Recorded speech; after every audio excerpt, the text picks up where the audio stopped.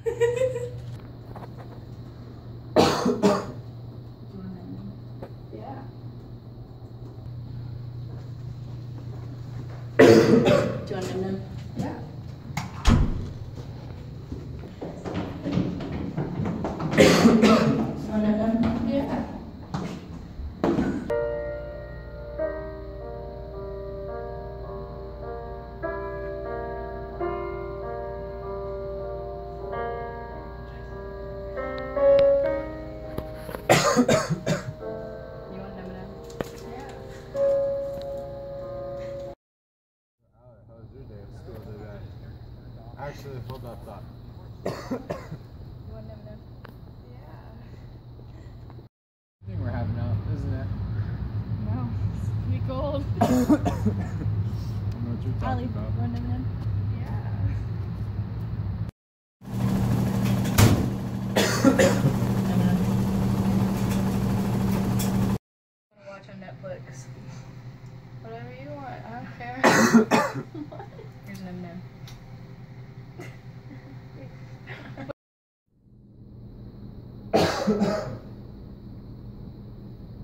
What? In our video, we demonstrate classical conditioning on our subject, Allie, by using a neutral stimulus, which was me coughing, and a potent stimulus, which was Abby giving Allie an M&M, and we trained Allie to expect an M&M after every time that I coughed.